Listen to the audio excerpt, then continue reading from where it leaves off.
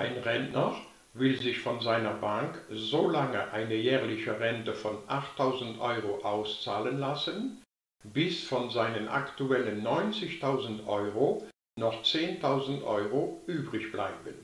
Frage, wie viele Jahre kann er sich die Rente auszahlen lassen, wenn die Zinsen bei 2% liegen? Da es sich hier um Jahresrenten handelt, dürfen wir diese Formel einsetzen, wo hier ein Minus steht. Aber zuerst schreiben wir alles auf, was angegeben wird und was gefragt wird. Angegeben wird die Jahresrente 8000 Euro. Angegeben wird auch das Startkapital, das sind diese 90.000 Euro. Angegeben wird ebenfalls das Endkapital, das sind diese 10.000 Euro. Und angegeben ist auch klein p, denn die Zinsen liegen ja bei 2%.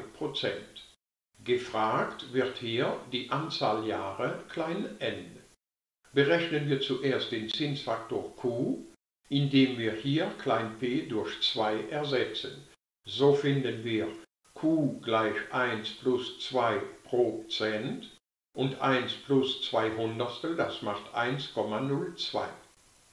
Jetzt ersetzen wir in dieser Formel das Cn durch 10.000, C0 durch 90.000, Q da, da und da durch 1,02 und R da durch 8000. Somit stoßen wir auf diese Gleichung, in der die unbekannte n da vorkommt und da auch nochmal vorkommt. Also werden wir hier ein bisschen anders arbeiten müssen als in den vorigen Übungen. Fragen wir zuerst den Taschenrechner, wie viel 8000 geteilt durch diese Zahl macht.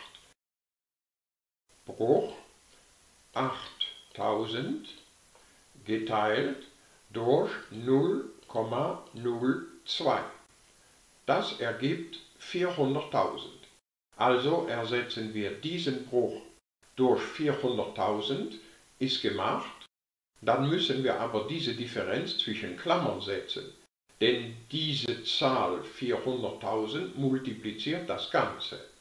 Jetzt verteilen wir minus 400.000 auf diese Klammer und stoßen somit auf diese Rechnung.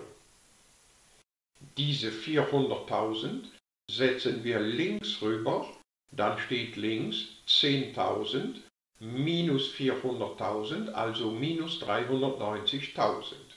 Und hier rechts können wir diese Potenz 1,02 hoch n ausklammern. Zwischen Klammern bleibt dann 90.000 minus 400.000, also minus 310.000. Und so stoßen wir auf diese Gleichung. Hier brauchen wir nur noch durch minus 310.000 zu teilen, somit erhalten wir diese Rechnung. Und diesen Bruch können wir natürlich noch vereinfachen, dieser Bruch ergibt 39 31.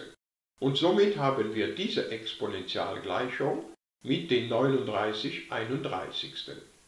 Da jetzt nur noch eine Potenz mit Hochzahl n links steht, können wir beidseitig einen Logarithmus einsetzen.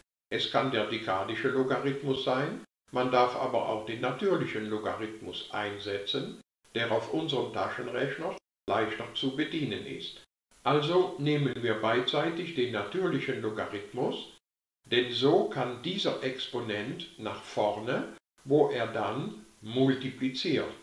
Und somit ist diese Exponentialgleichung in eine gewöhnliche Gleichung verwandelt worden. Jetzt brauchen wir nur noch durch ln von 1,02 zu teilen und erhalten so, dass n gleich zu dieser Zahl ist. Zahl, die wir vom Taschenrechner ausrechnen lassen. Bruch. Ln von Bruch. 39, Kursortaste nach unten, 31, Kursortaste nach rechts, Klammer zu, Kursortaste nach unten, ln von 1,02 Klammer schließen, ist Der Taschenrechner findet 11,59, Zahl, die wir hierhin übertragen. Klein n beträgt also 11,59. Das heißt, der Rentner kann sich diese Rente während elf Jahren auszahlen lassen, das zwölfte Jahr nicht mehr, denn würde er sich das zwölfte Jahr dieser Rente auch nochmal auszahlen lassen, dann würden weniger als 10.000 Euro übrig bleiben. Also elf Jahre. Und die Aufgabe ist beendet.